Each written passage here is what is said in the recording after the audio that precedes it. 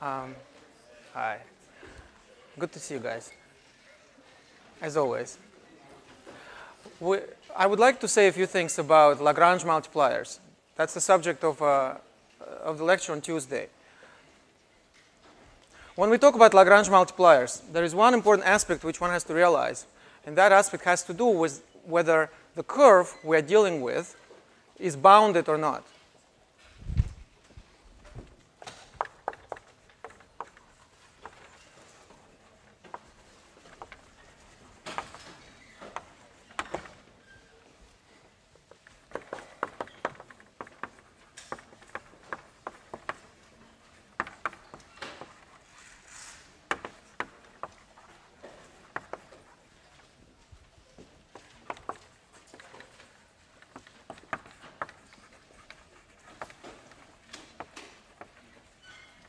Okay? So the example which um, we discussed in great detail last time was the example where the curve was an ellipse.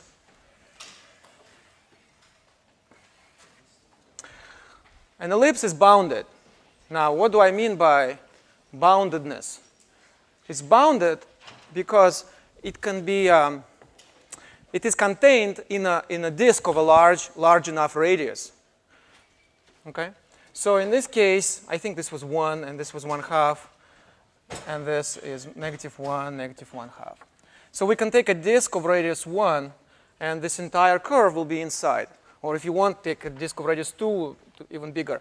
So for sure it will be inside. In other words, there are no branches of this curve which go to infinity. Okay?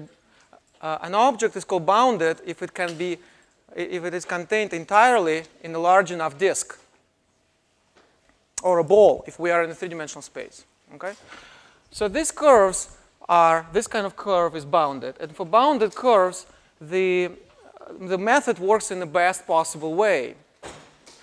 In the best possible way, namely we will be able to, fi to find a maximum and a minimum of our function. Our function will have a maximal point, which was here, and a minimal point, which was here in our example.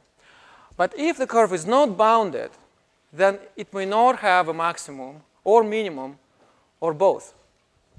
Okay? So that's an important uh, remark that I wanted to make.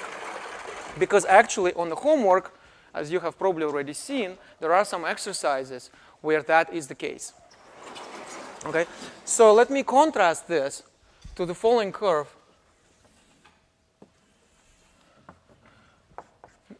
And this is actually exercise number three in 14.8. I know it's on the homework, but okay. It's my gift to you. okay, well, if you like it, I, I, can, I, can do it. I can do it again, maybe next week or a couple of weeks. All right. So in this exercise, the curve is, x, is given by the equation xy equals 1. Okay? So what is this curve? This curve, well, to understand that, it's, uh, it's best to rewrite this equation as in a more familiar form, y equals 1 over x. If we write it in this form, we see immediately that this is a graph of the function 1 over x. And that's what we call hyperbola, right? So that's actually something we learned a long time ago. And it looks like this. It has two branches one here and one here. So this is a point 1, 1. And this is a point 1, negative 1, negative 1, right? And uh, in this exercise, you're asked to find the maxima and minima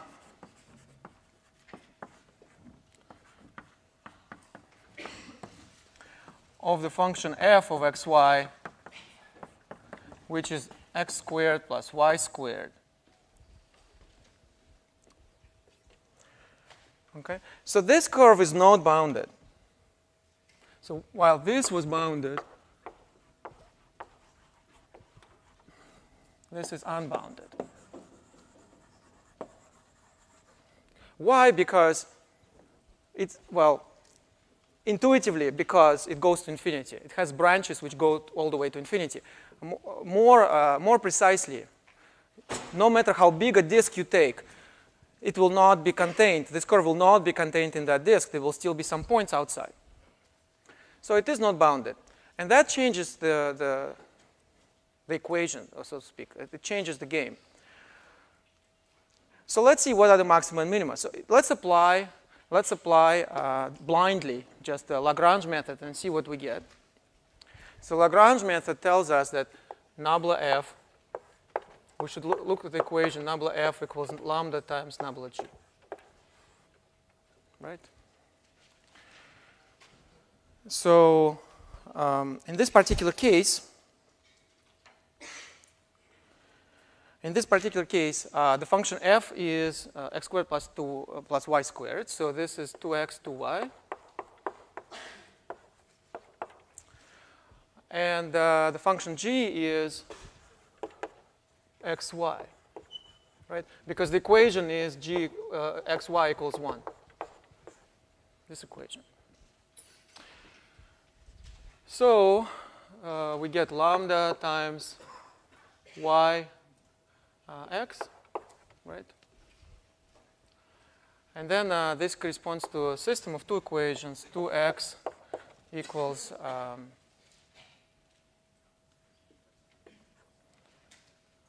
2x is equal to uh, lambda y, right? And then you have 2y equals lambda x, right? So from the first equation, we find that lambda um, um, actually it's better maybe to, uh, oh, and of course there's the third equation, which I forgot, which is xy equals, which xy equals 1, right? And so from this, let, us do this in the following way. So let's say that, um, let's find y is 1 over x, right? And so Let's substitute, substitute this in both of these equations. So we get 2x is equal to uh, lambda times 1 over x. And here 2, 1 over x is equal to lambda times x. Right? And so, um, so from this we can find uh, that lambda is equal to 2x squared right? And so then we substitute in this. 2x squared, so we get 2, 1 over x is equal to um, 2x cubed, right? which means that x to the fourth is equal to 1, which means that x is equal to plus or minus 1. Right? So far, so good? Okay. So now uh, we find the two points. So we find two points.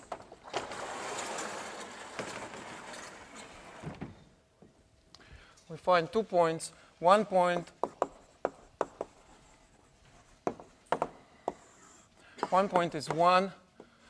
When x is one, we use this equation to find that in this case y is also one, and the second is negative one, and then again y is also negative one. And then let's, let's evaluate the value of the function f. f is x squared plus y squared. So we get value 2. And then here, we also get the value 2.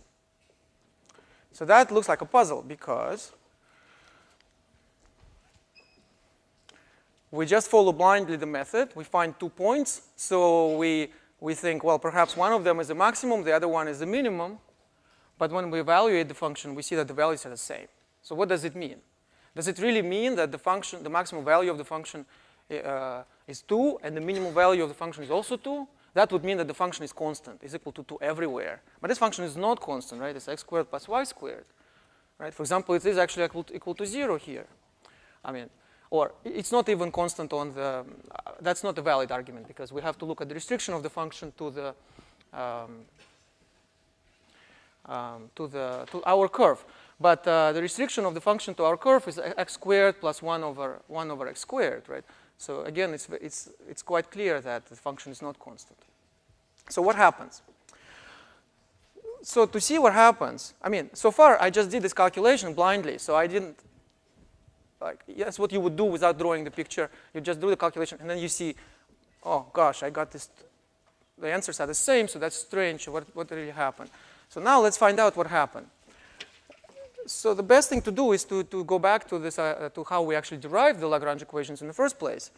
When we derived the Lagrange equations, we looked at the level curves of our function. In this case, the level curves are extremely simple. They are x squared plus y squared equals k. And this is, of course, the equation of a, of a circle of radius square root of k.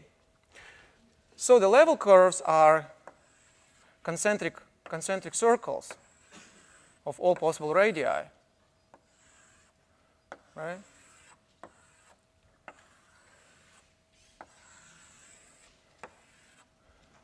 And there's more. There's more and more and more. So each of these circles, each of these circles represents the set of points for which the value uh, of the function f is the same. So for example, um, the function is, takes the same value uh, on, on this circle. It takes the same value on these circles and so on. So which means in particular that the function is the same here and here, right? And here and here, which are the points of intersection of that level curve with our curve xy equals 1. So now if you just look at this, you see that the value of the function f increases as we go outward. As we go outward, the radius of the circle becomes larger. And the, because the function is, is essentially the square of the radius of the circle, uh, it grows when the, when the radius becomes larger. And likewise, it becomes smaller when the radius uh, becomes smaller. But because the curve is unbounded, you see that this function doesn't have a maximum. Right? Because any, any, real, any positive real value greater than the value at this point will actually be realized. And the value at this point is equal to 2, right? Any value will, will be realized. If you want a value, uh, you know, a million, the value million will be realized, or maybe twice million would be easier, right? So then it will be like x and y equal to 1,000. You'll get twice, two times, times a million. So any, any value will be realized because, because, the function, because the curve is unbounded. So then the question is, so that means that the function actually has no maximum. This function has no maximum.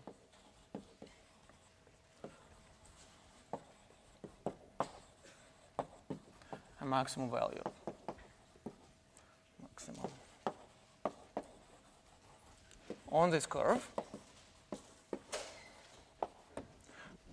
So what about these values? Well, these values are realize at these two points which I have marked from the beginning. And this, I actually, you can see that these are the smallest possible values because uh, all this, this is exactly the points where the level curve for f touches our curve? The level curve for f is a circle, and it touches uh, our curve, the hyperbola, at this point and at this point. So um, this is really the smallest value, the minimal value, because if you take, if, if you take a radius any smaller than this, you will lose contact. You will lose intersection with our curve. So therefore, this is really the, po the smallest possible value. So I, I went through this argument uh, in great detail on Tuesday. I will not repeat it. So that argument is valid for these two points. And this argument shows that these are indeed uh, the minimal values. So it's not surprising that the two values are the same, right? So they are actually, they, they just both are attained. Um, uh, both give, give us the minimum value. Now, it could happen, for example, that I could just uh, change the setup and I could consider instead a curve where uh, the, the, the, top branch, the, the right top branch, would be going here. So it wouldn't be given by this equation, but it would be a union of two curves. One, say, would be xy equal 1 in the third quadrant, and the other one would be xy equals uh, 2, for example, right? So then it would actually be higher. So in this case, if we apply Lagrange method, we would find, again, two points, but the values would be different. So in that case, again, uh, we compare the values. So if, for example, as a result of this calculation, you could actually get 2 and 3, say, if you chose the function in a slightly different way. You could get a different value. And then it would be even more tempting for you to say, OK, this is maximum, this is the minimum. But actually, neither, it would not be, I mean, this answer would not be correct. One of those two answers would be minimum, namely the one which is smaller, right? But the function still wouldn't have a maximum because the branches go to infinity. Okay? So in other words, don't think that the fact that they're both equal, equal uh, is the only possible uh, scenario for uh, which indicates that the function doesn't have a maximum. You, you could even have two different values, but both of them, say one of them would be minimum, one of them would be neither maximum, minimum, and no maximum. It's also possible. Okay? So, um, so these two are actually min two minima.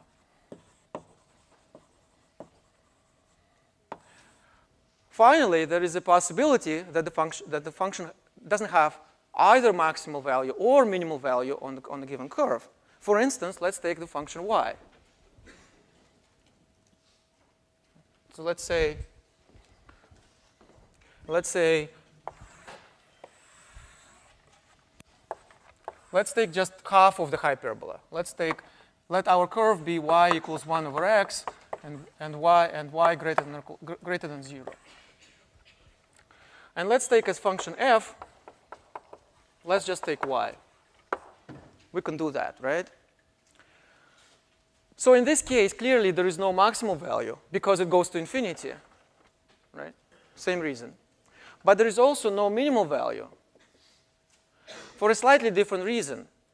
Uh, it's not because the function goes to minus infinity the way it goes to plus infinity, you know, on this part it goes to zero, so it, you might be tempted to say that the minimal value is zero, but you can't say that because that value is never attained. Value zero is never attained. You get as close as possible to it, but it's never attained. So, so that means that there is, no, there is no minimal value because the zero value is not attained, and any value which is above zero is attained, but is not the smallest one because you can always take one half of it, and you'd get smaller value, right? So this function has no, neither, neither a maximum nor a minimum.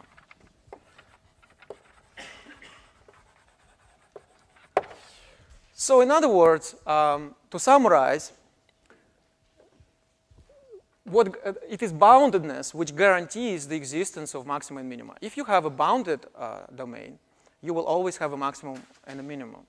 If the domain is not bounded, or curve is not bounded in this case, all bets are off anything can happen. You might have only a maximum but no minimum, only minimum and no maximum, or neither. Finally, keep, uh, keep in mind the following thing, that here I wrote this equation just by itself, right? Just by itself. I did not put any limits. I didn't say what are the ranges for x and y, right? So if there, is no, if there are no limits, it means that they, are, they could be arbitrary. That's why I drew the entire hyperbola. But there could be a variation on this problem where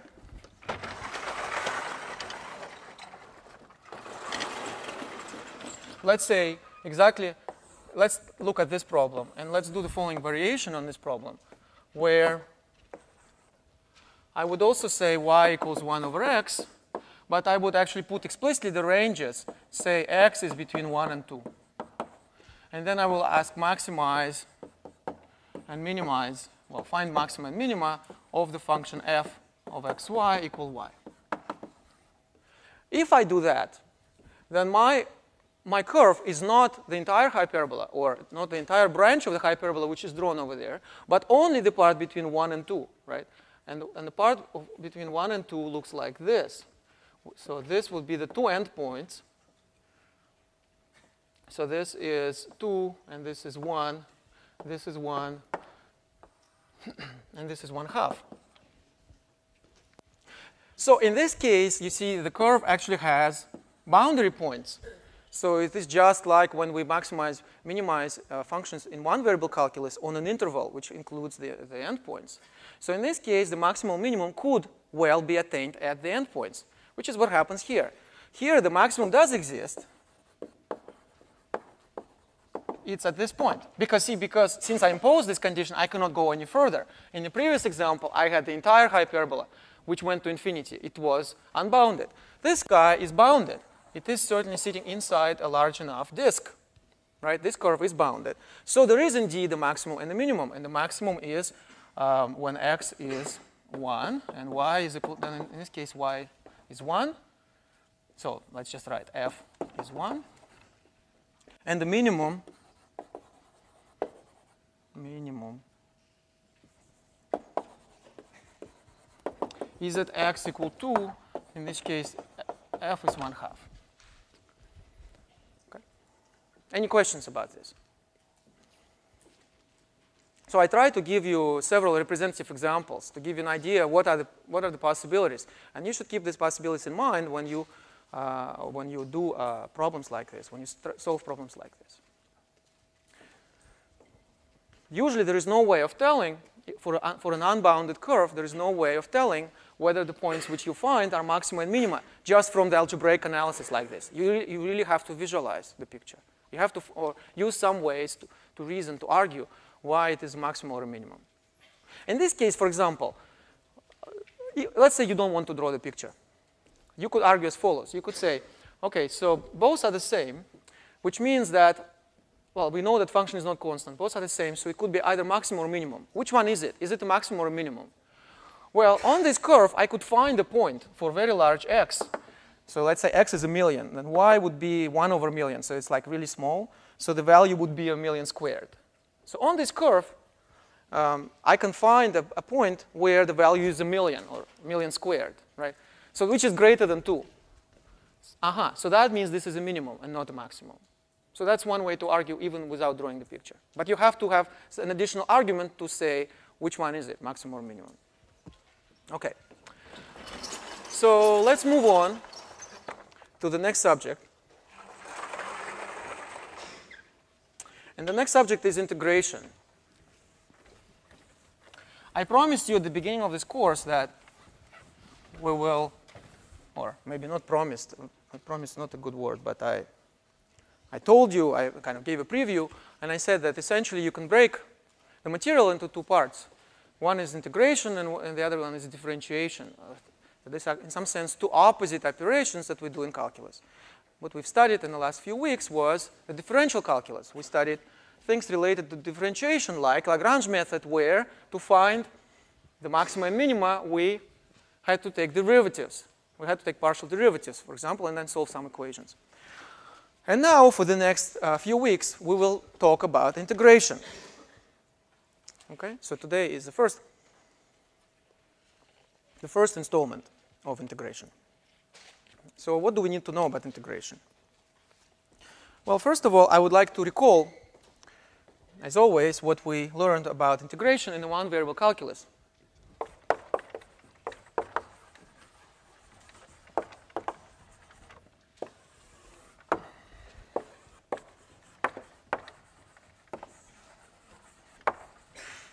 Actually, we already talked a little bit about this before, so I'll be very brief.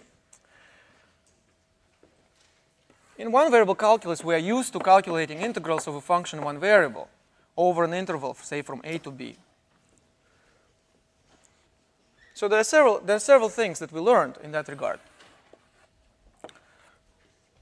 The first, uh, the first uh, thing that we learned is that in the case when the function is non-negative on this, on this interval for x between a and b. So let's say this is a and this is b. So if the function is non-negative, then the graph of this function is going to lie entirely over this interval, or more precisely, the part of the graph above this interval, uh, or corresponding to this interval, will lie above the x-axis. In other words, I want to avoid a situation where it goes it's on above and below the x-axis. I'm not really losing much generality by, by assuming that because even if it were below, I could just add a constant, sufficiently large constant to the function and raise it above, above the axis.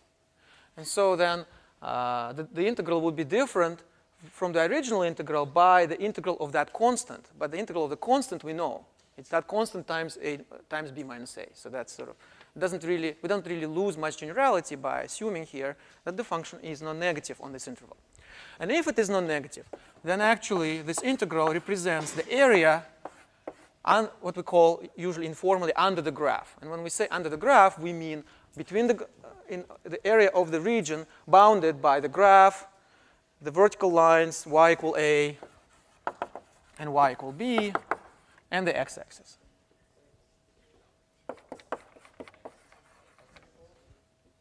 Oh, yes, x equals, that's right, sorry. Thank you. x equals a and x equals, oh, sorry.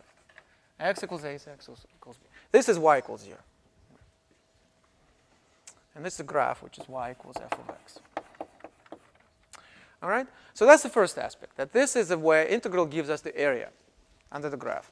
That's number one. So uh, you see, function is in, in one variable. The function is in one variable, but you get an area of a two-dimensional object. You start with a function in one variable, but you naturally get a two-dimensional region because you look at the graph, and the graph lives on the plane. You add one more variable y, and then you uh, use the graph as a boundary of this region. So you get a two-dimensional region, and it has an area and that area is represented by the integral. Okay, so that's the first aspect. The second aspect of this, uh, of, the, of the study of the integrals, is how do we define it? So first, the first aspect is what does it represent? And the answer is it represents the area. The second aspect is how do you define it? And, the way you define it is somewhat, somewhat uh, subtle. The way we define it is we break this, inter this uh, interval into smaller pieces And then we approximate the function by the, by the step functions like this, by just constant functions on each of these intervals, right?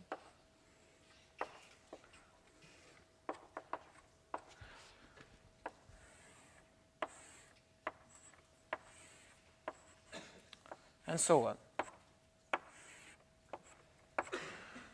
And so, and, and that gives us the, the uh, possibility to approximate the entire area, this entire area, as the sum of areas of all of those little, of all those elementary rectangles.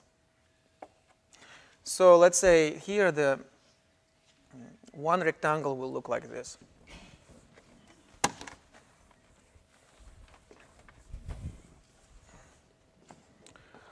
One of these rectangles will look like this where this side will be delta x. And this side will be um, delta y, say. Uh, it's actually not a good idea. Let's call it, um, it's, it's, it's, just going to be f. Let's say this is a point xi in the partition. This is xi plus 1. This will be f of xi. And then the point is that we don't know a priori at the beginning what the area of this complicated um, region is. But we certainly know what the area of this one is. And the area of this one is f of xi times delta x. Because it's a rectangle, rectangle. And for a rectangle, the area is just the product of the sides. So this is, the, this is the important thing which we have to know in advance, the area of the elementary piece. And after this, we take the sum. So let's call this area number i. And then we take the sum of this areas number i from 1 to n. So, so let's say that there are n, n parts, n pieces in this partition. And the size of each of them is delta x. That's this delta x which I, which I, drew, which I wrote here. So then this one, we take this as, a, as, a, as an approximation to the value, to the, to the area. And then the point is that as n goes to infinity, as the pieces become smaller and smaller, this approximation for, for functions satisfying some good properties like continuous functions uh, is going to approximate this area better and better. And so the actual area we will get in the limit when n goes to infinity. And that's this integral.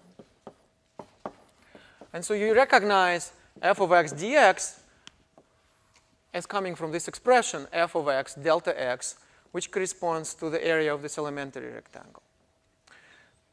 So there are, there are some methods in mathematics which allow you to show that this limit actually is, exists. And so this therefore justify this definition. And again, for that, you actually have to make some assumptions on the function f. But all the functions which we'll consider in this course uh, will, go, will satisfy this assumption, so I'm not going to uh, talk about this. All right, so that's the second aspect, the definition. And finally, the third aspect is how do you actually compute it? So I purposefully, I purposefully separate this to uh, points. the, the definition and the calculation because the definition is rather complicated and, and in some sense uh, esoteric because you are, you are breaking something in smaller pieces and so on. So this is, this is sort of the hard part of this story. And, um,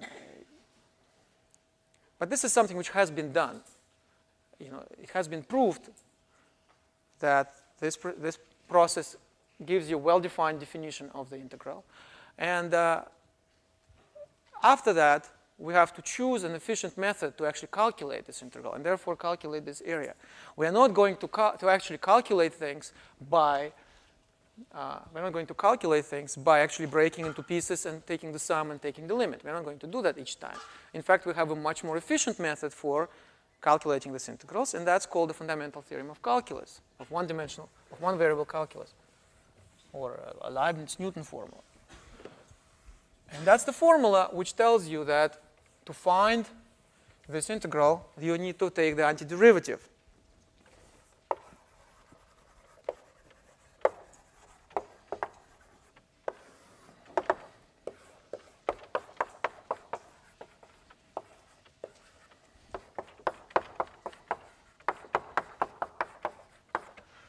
where, where f of x is f prime of x. So in other words, to calculate the integral, you have to perform the operation which is, which is opposite or reverse to the operation of differentiation. And it is in this sense that we can say that integration is reverse or opposite to differentiation. Something which is not at all obvious from the original definition by, uh, by uh, as an area or as a, as, a, as a limit of these partial sums, but which is, which is nevertheless it's, it's one of the most important results here and this is what we use in practice to calculate the integral.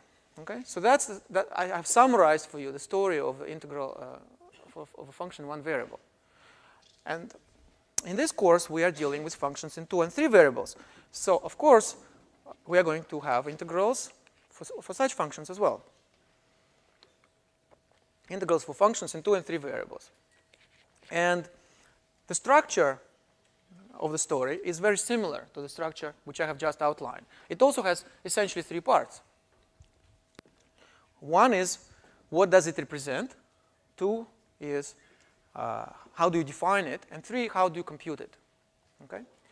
So let's talk about functions in two variables.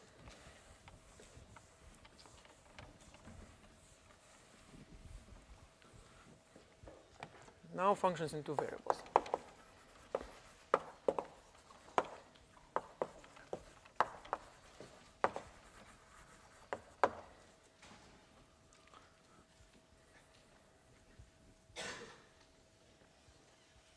A function in two variables also has a graph. So let's say you have function f of xy. Function in two variables also has a graph. And um, the graph now lives in three dimensions. So we draw a three-dimensional coordinate system, where in addition to our variables x and y, we introduce one more variable, which we call z, right? So the next, the next uh, step is to, to, to realize what is the analog of, the, of this area under the graph.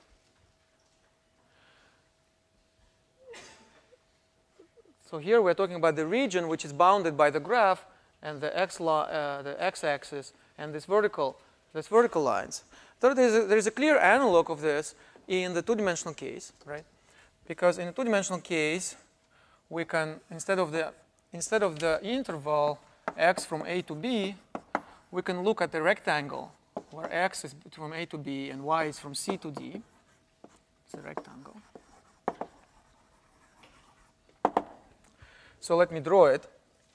So let's say this is x equal a, and I mean this is x equal b, and this is x equal a, and then this will be y equals c and y equals D. So I'm talking about this rectangle. So this is A, this is B, this is C, and this is D, right? I'm talking about this rectangle. don't confuse this rectangle with this rectangle because those are both rectangles, but they have totally different meaning. In this, in this rectangle, the variable is one side, and the other side corresponds to the function. And now we are just talking about the variables. Now we have two variables, so we have we have this um, rectangle on the xy plane. And now let's suppose that the function f of xy, our function, is non-negative on this on this rectangle. So that means that the graph of this function is going to um, lie above the xy plane if we look at the part of the graph corresponding to this rectangle. So what, what does it look like?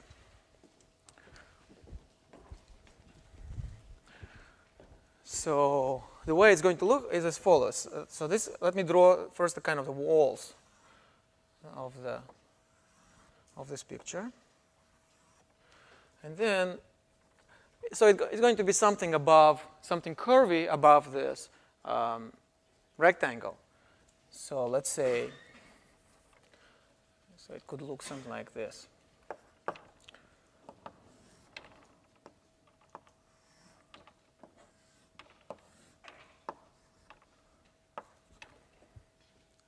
So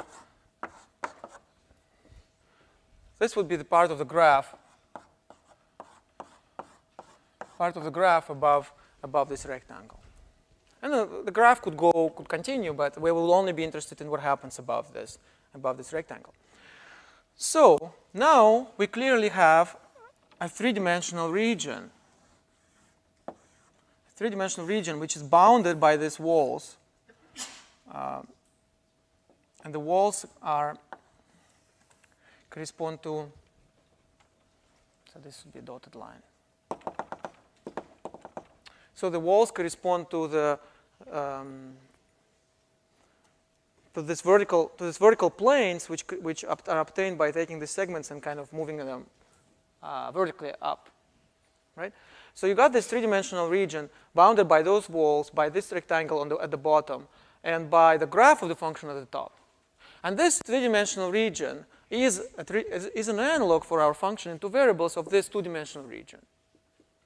And the, and, and the integral of the function f will be defined, will represent the volume of this three-dimensional region. Right? So we've got this three-dimensional region, three-dimensional region, which uh, we'll often call it solid. We refer it to sol as a solid. So kind of think of it as a piece of solid. And uh, the integral, let me, um, let me just write here. So the integral, the, the, the integral of the function f of xy dA, this will be the notation for this integral, over, over this uh, rectangle. Let's call this a rectangle R. So this is R. Will represent the volume of this solid. So you see, all dimensions get bumped by one. Here you have the function in one variable.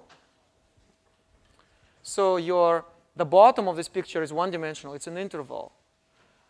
But the region is two-dimensional. And it's re represented by a single integral. Whereas now, you have a function in two variables. So instead of one, you get two. You have a three-dimensional region, or solid. The bottom of this region is a, is a rectangle in your original variables x and y. And the volume of this three-dimensional object, three-dimensional solid, is represented by a double integral, which is denoted like this, where dA sort of stands for the elementary area, just like dx was a notation for sort of the elementary length. Okay? So this is a notation. This is a notation which we will use. And what I've explained now is the first aspect of the story, which is what does this integral represent?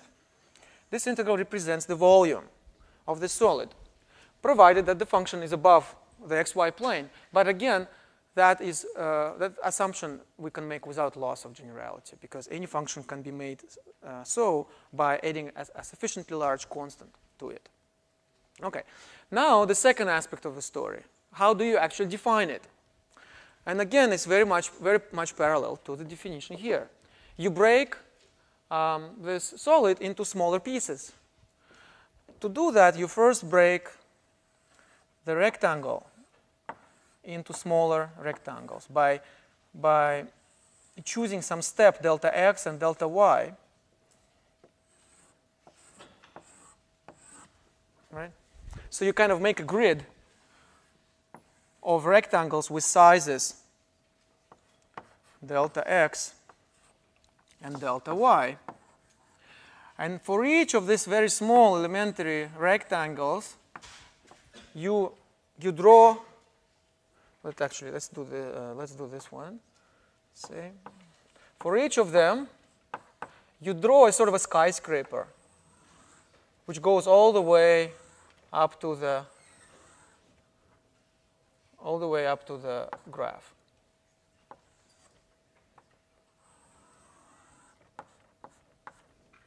You see, so that's sort of like a skyscraper which sits at this uh, at this cell of this of this grid. And, and, and for each of them, you do the same. And then the point is that the entire volume can be approximated this, as the sum of volumes of those skyscrapers. So this is precisely analogous to what we did in the one-dimensional case, except now instead of, uh, I mean, in the one-dimensional case, the bottom was like a little interval, and now the bottom is going to be a little rectangle. So there will be of sizes delta x and delta y. But otherwise, it looks exactly the same. Otherwise, it looks exactly the same.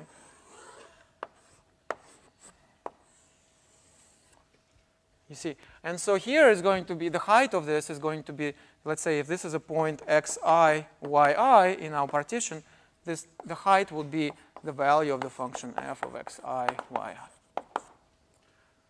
And so now we just use the same formula,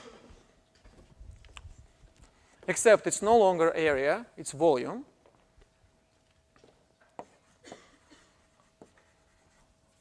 And it's not, it doesn't depend just on i, but it depends on i and j. So I actually should have said yi, xi, and yj, the ij's cell of that grid, so that would be volume ij. And this would be f of xi yj times delta x times delta y.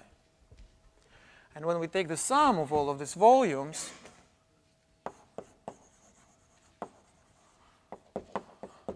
where n and m go to 0, n and m being the two, the, the numbers of partitions for x and y, we will get a double integral we will get our double integral.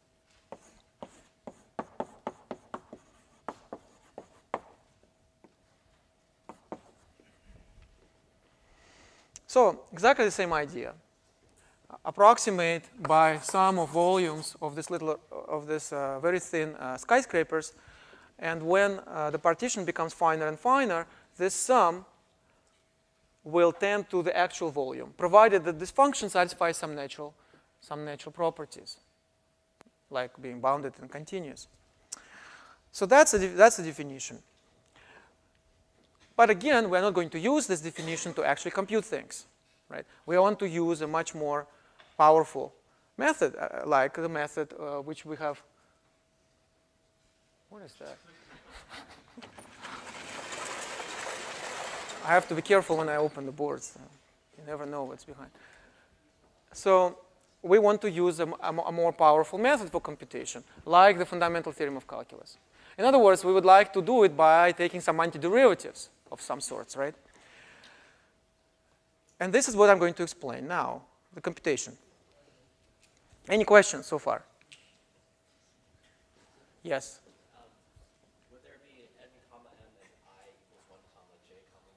Very good, that's right. Thank you. I didn't write, so actually it's a double, going to be double summation. That's actually a very good point. I'm glad that you point this out. because this illustrates one uh, more clearly why it should be a double integral. Because this is really a double summation. Why is it a double summation?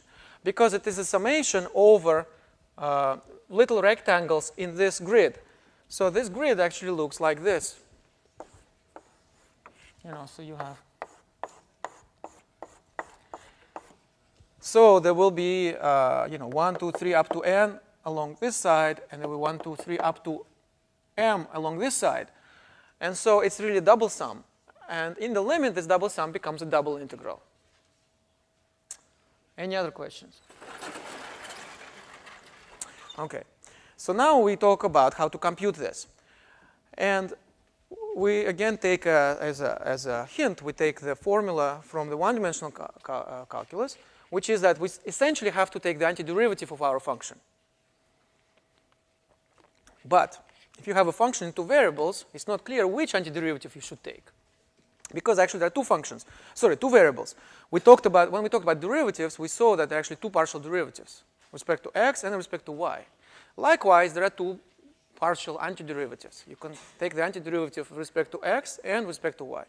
And the point is that there is actually an analog of this formula in which you actually have to do both. You have to both first take the antiderivative with respect to one of the two variables and then antiderivative with respect to the second one. And that will give you the answer. That's the idea. So let me explain this.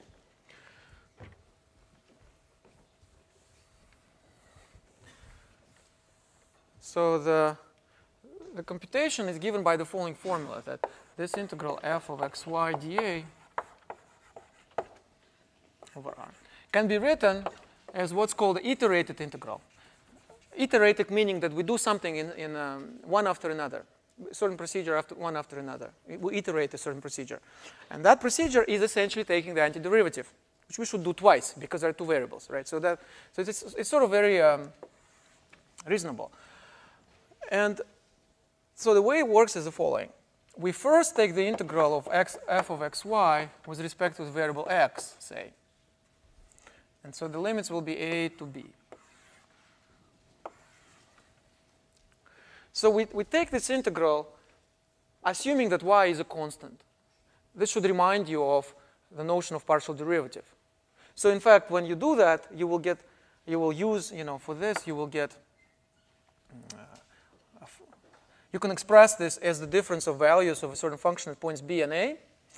And that function will be nothing but the anti-partial derivative with respect to x of this function. And as a result, you will get a function depending on y, because think of this as a family of integrals depending on y. So you have integrated out x, but y still remains as a parameter. So the resulting object is a function of y. And then you just integrate this function of y um, from, from c to d dy. So that's called iterated integral because you iterate the process, the procedure of taking antiderivative or doing a one-dimensional integral. But you could also do it in the opposite order. So in, some, in that sense, it's kind of reminiscent of the Clairaut theorem, which told us that we can apply partial derivatives in, in any order and we'll get the same result. Likewise, here we're doing partial antiderivatives, and we can apply them in either of the two possible orders, giving us the same answer. So that would mean that first we integrate out dy.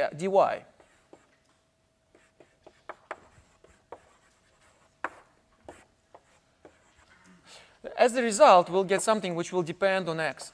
So in this integral, uh, we, uh, y is frozen, and x is a live uh, variable. So we're integrating, but then we start, after we integrate it, we start remembering about y, and we get a function of y, which we then integrate. Likewise here, y is, is the live variable, which we integrate. But uh, x is a parameter. When we integrate, when we make this integration, we get something which depend, depends on x. It's a function of x, which we then integrate itself with respect to x. So these are two different uh, formulas for the same integral. And uh, depending on uh, the choice of the order, first x, then y, or first y, and then x. And the fact that you can write the integral like this is what's often referred to as a Fubini theorem. Fubini theorem. Again, this is something which we are not going to prove, but we're going to use it in practical calculations, just like fundamental theorem of calculus. We didn't really prove it, but we, we used it extensively to actually calculate one-dimensional integrals. So let's see how this works in practice.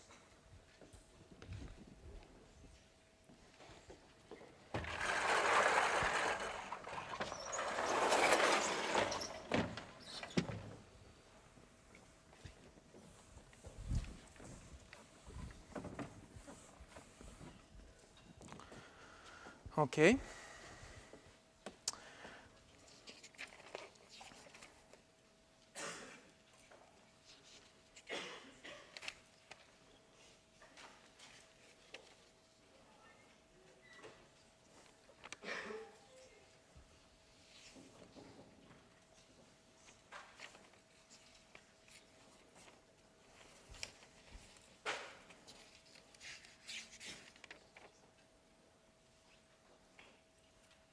Okay. So let's do this example. Say.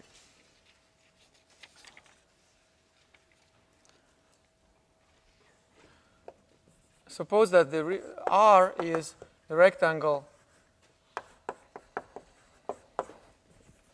where x is from 0 to 2 and y is from 0 to 1. And the function f of xy is x cube y cube plus 3x y squared. Okay? So you want to compute the integral of f of xy dA over this rectangle. And I'm just using Fubini's, Fubini's theorem, so I have to choose which way I want to integrate, which variable first goes first. And let's say I want to do first the, the y variable. So that means that first I do the integral 0, 1 from 0 to 1 x cube y cube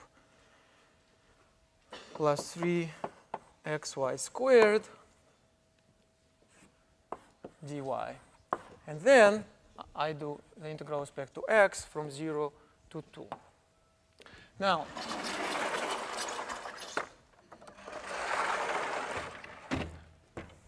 It is tempting to just continue this formula, writing this formula.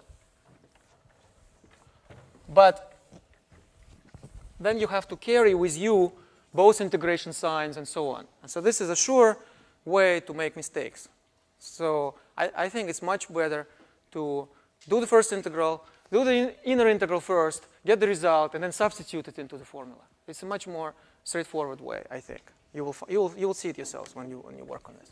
So let's do the inner integral by itself. It's x cubed y cubed plus 3 x squared xy squared dy from 0 to 1. Use, uh, use the uh, uh, fundamental theorem of calculus and assume that x is, a, is just a, a scalar, it's just a constant. So we have to take the antiderivative of this, right? What's the antiderivative of this?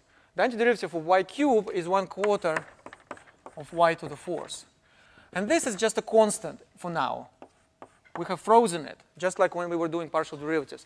So just, x just carry x cubed. Next, take the antiderivative of this. Again, thinking of x as a, is a constant. You get x y cubed. And now you have to evaluate at 0 and 1 and 0. So you get 1 quarter uh, of x cubed plus x. Right? And now substitute it back.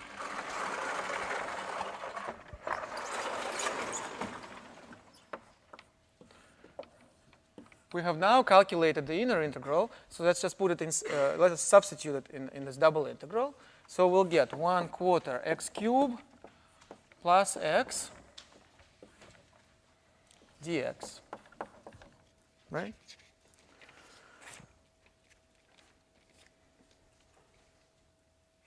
So we get 1 over.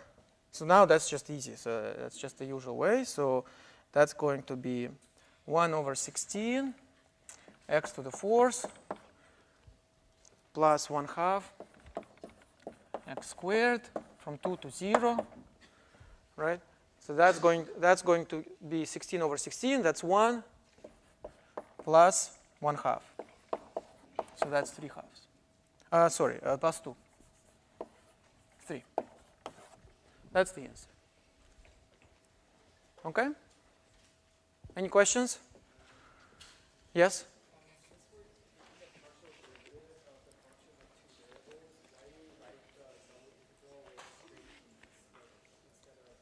Single integral.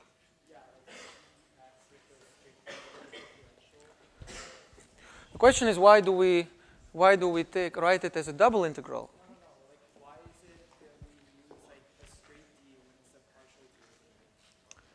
Oh, you mean the notation for dA or for this? I see. So the question is why do we use this notation?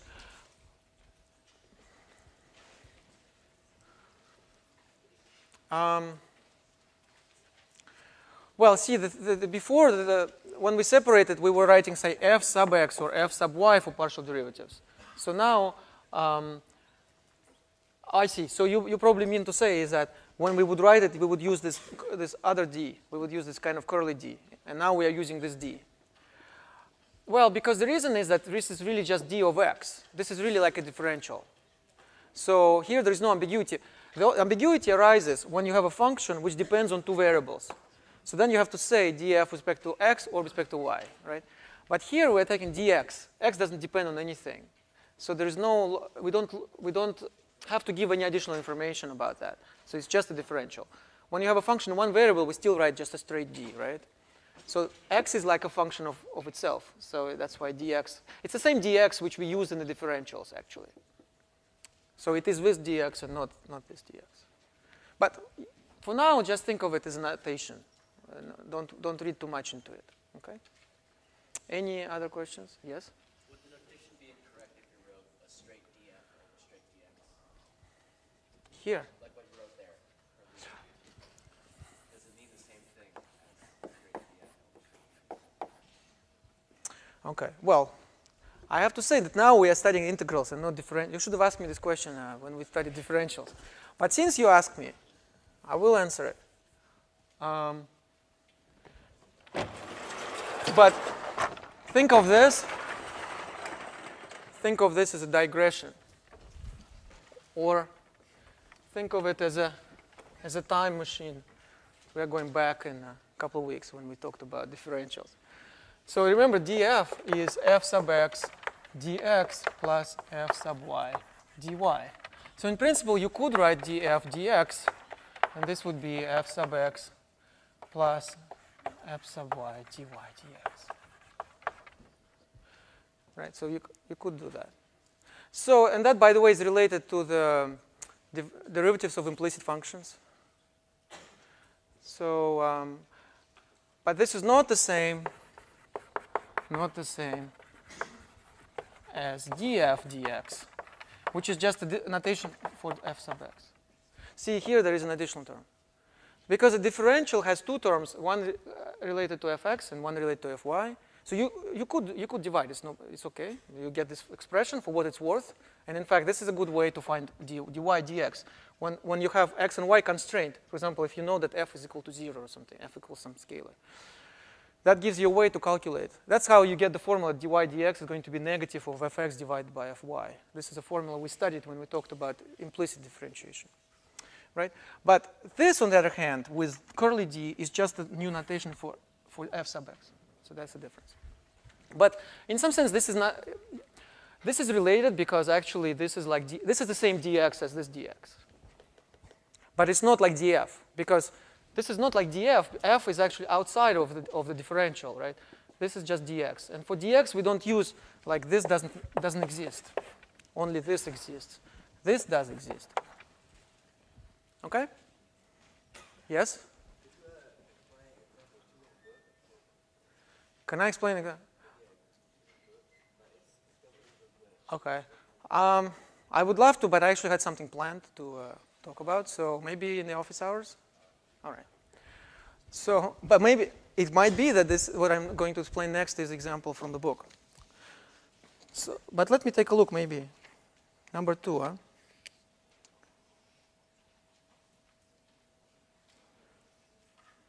Well, um, example number two, by the way, is like it's just like this one, right?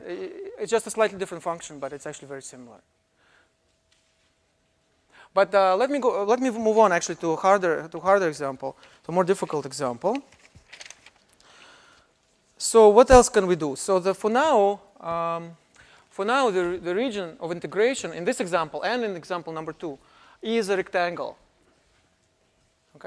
But we are actually going to study more more complicated regions because, well, we know that on the plane there are many other regions as well. So let me actually do it here.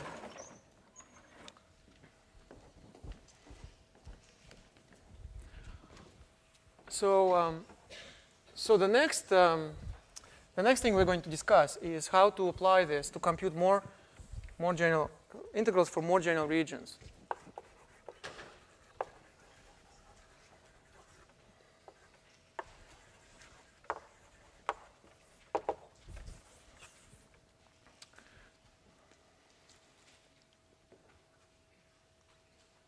So, for example, suppose that you have the following region. It's defined by the following formulas.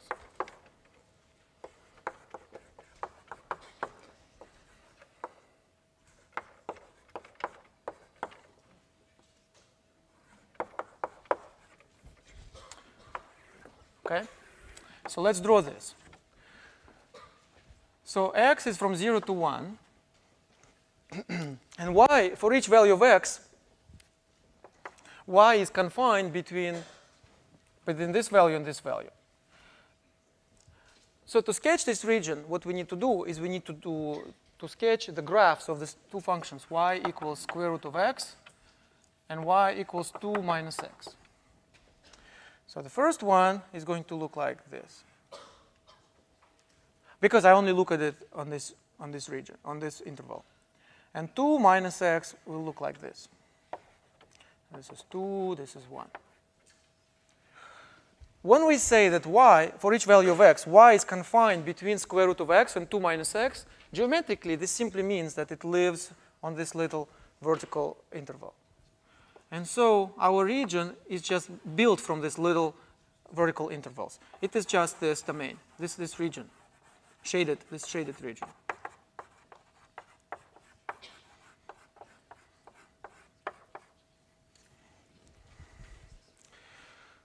So that's more complicated than, um,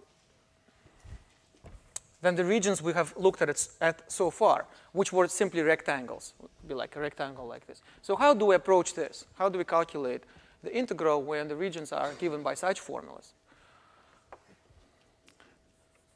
So the point is that to compute that, we, we just slightly generalize our formula. We still do it as an iterated integral. But we first integrate over y, but we integrate with, with the bounds of integration explicitly depending on x. Namely, we'll go from square root of x to 2 minus x. And then we'll put our function f of xy dy. You see, now before the bounds of integration were, say, c and d. They were fixed. But now the bounds actually depend on x because that's the way the region works. Um, we integrate over, for each value of x, we have a certain segment or interval in y. And we are integrating over this interval. But the interval itself, the bounds of this interval, actually depend on x in this way. But so there is no problem because we are integrating over y. So it is okay if the limits of integration depend on x. You certainly wouldn't want to put something depending on y in here. But depending, putting the limits, uh, which are functions of x, only is okay. So the result of this calculation is something which depends on x. And it depends on x for two reasons. First of all, the function f dependent on x So even in the old calculation, when the limits were constant, the result was a function of x. But now there is a second reason why it depends on x, because the limits also depend on x.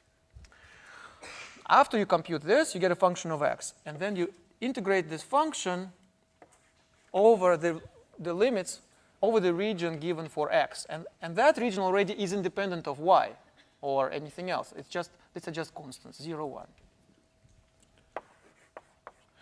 So that's the formula. It slightly generalizes the old formula in that we now allow the limits to depend explicitly on, um, on one of the variables. So let me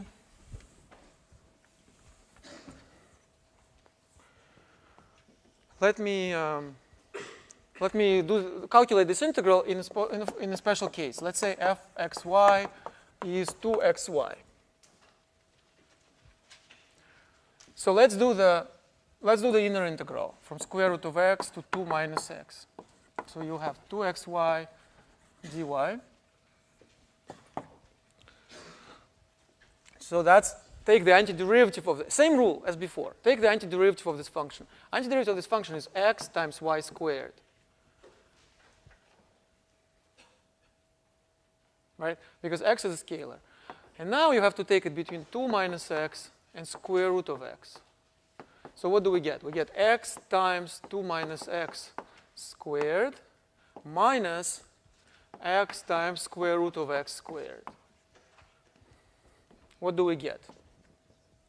We get 4x minus 4x squared plus x cubed minus x squared. So we got this. So we got um, x cubed minus um, minus 4. Yeah, minus 5 x squared plus 4x, right? So you see the result is just a function of x. I mean, this calculation is no, no, not much, much more complicated than the previous calculation. The only difference is that in the previous calculation, the limits were 0 and 1. Okay, so you substitute 0 and 1, and you get a function of x. Now the limits are square root of x, 2 minus x. But again, you just substitute and you get function of x. You're you were going to get a function of x anyway. You might as well allow the limits to depend on x also, right? So, um, yes?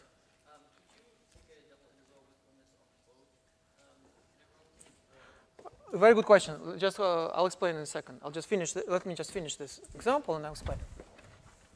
So, so what's the end result? We just substitute this into the outer integral. So we get 0, 1, x cubed minus 5 x squared plus x cubed. Right? So this is going, oh, sorry, dx. So that's 1 quarter x to the 4, fourth minus 5, third, um, pi over 3 x cubed plus 1 quarter x to the fourth from 1 to 0, which is 1 quarter minus 5, uh, 5 thirds plus 1 quarter.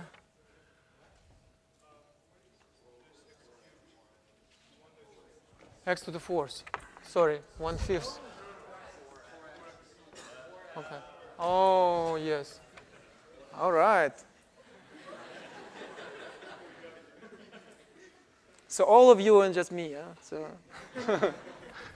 Okay, okay. You you were you were right. So 4x, right? So that that's going to be 2x squared. So plus 2. Is that okay? Okay. And then I'll let you calculate this. okay. Now, the, uh, this naturally begs the question which you asked, which is, is it possible that we would have at some point encounter integrals in which um, for, both for both inner and outer integral there would be some dependence uh, of the limits on x and y?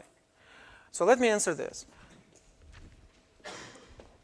The point is that this will never actually be, will never be necessary for the following reason.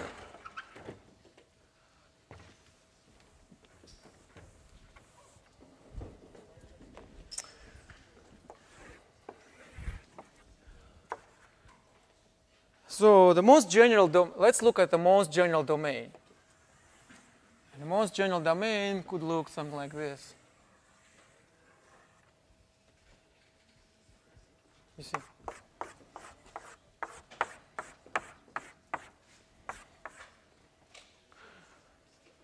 So the point is that I can always I can always break it into what the book calls regions of type 1.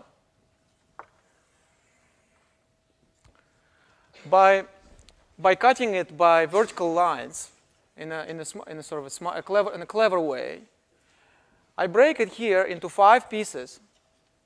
And each of the five pieces can be, can be represented as, as a region of this type.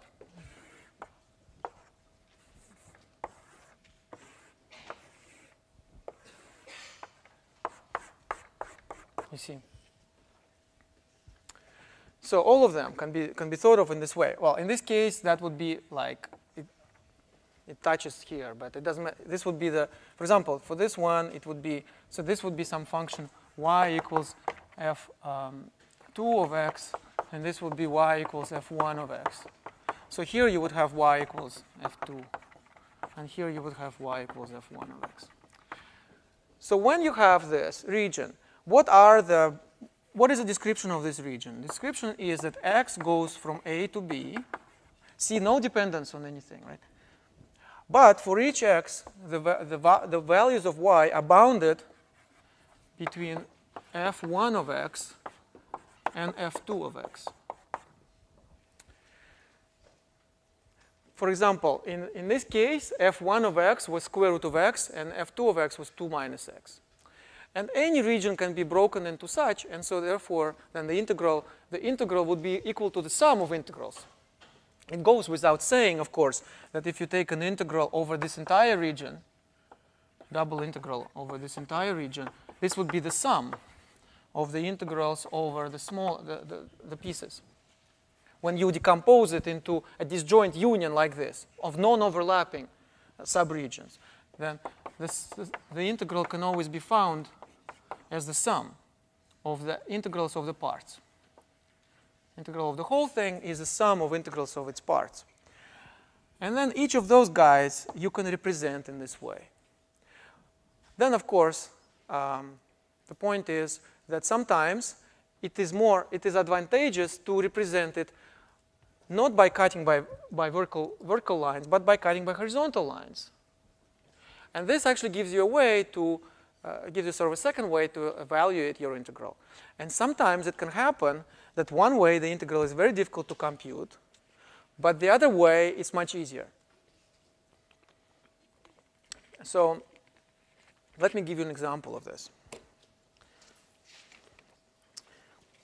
Here's an example.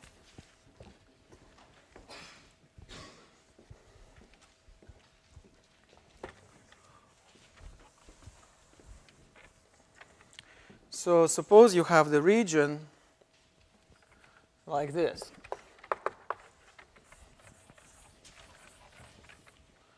So you have xy where y is between 0 um, and 1, and x is between, no, sorry, uh, x is between 0 and 1, and y is between um, 0 and, and x squared. And you have to, you're asked to compute the integral of the function square root of x cubed plus 1 dA.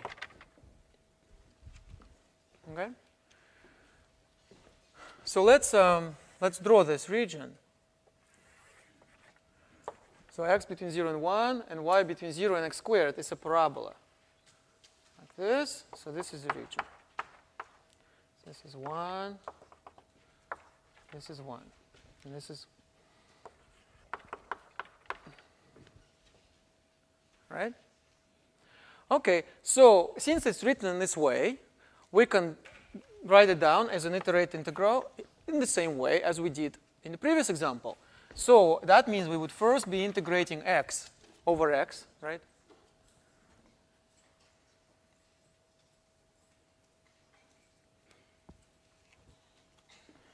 So that would be, um, the, I mean, the not the first, but I mean the outer integral with respect to x. But the inner integral would be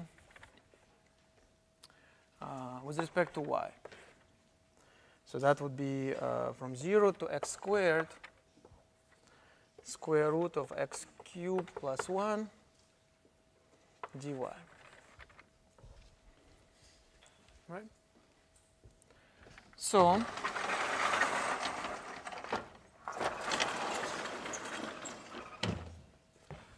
let's compute the inner integral.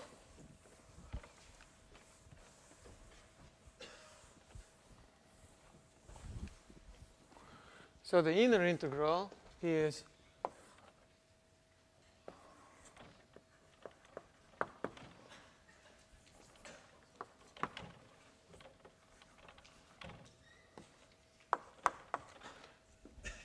Okay, so this function looks very complicated. But remember, we're now integrating over y.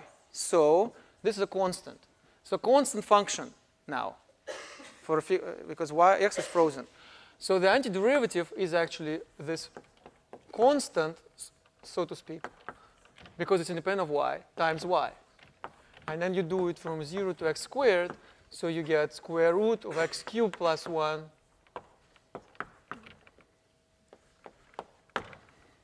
times x squared. Right? And now you have to integrate the, the result.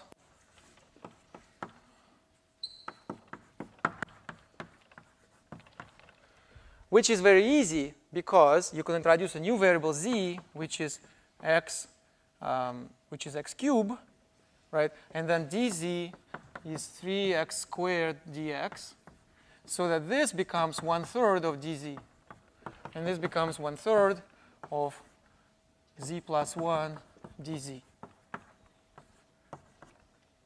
Right? Which is very easy.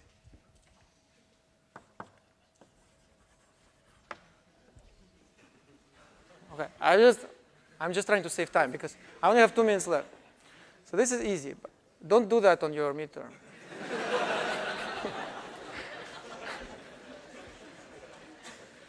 I have an excuse because I, I don't have enough time uh, to and I want to explain something to you. So here is a, here's a tricky question, which you'll find on the homework.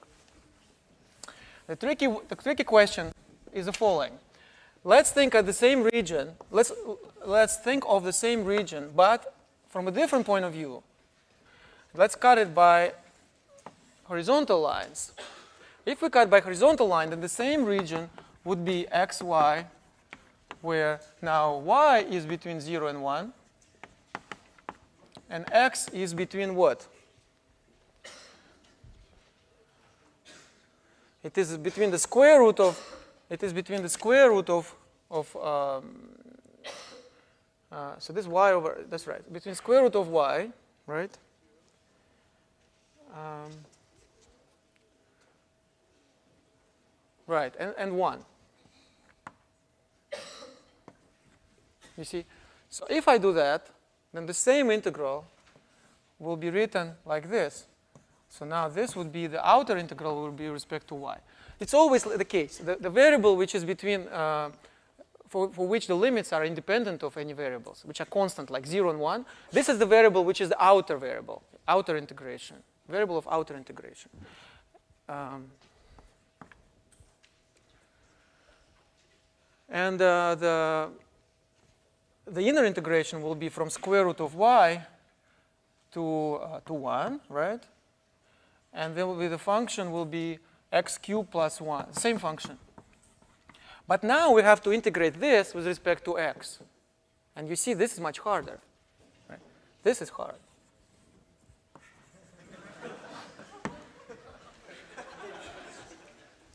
because it's not clear what the antiderivative is of this. See, see how much, now you can appreciate how much easier it is to calculate the antiderivative of this function with respect to y, because y doesn't know about x, right? So this is a constant, so you're doing the antiderivative of a constant function. That's why you get this very simple function, and then you luck out that you get x squared, so it becomes much easier. But here, you get a function of x, and it's not clear what the antiderivative is.